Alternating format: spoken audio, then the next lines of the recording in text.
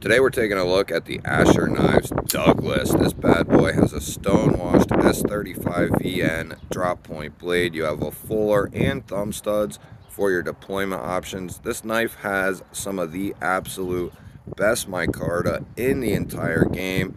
You have all DLC coated hardware. This is lefty friendly. You have a geared titanium backspacer, a nice minimal deep carry clip, great access to that liner with a nice chamfer.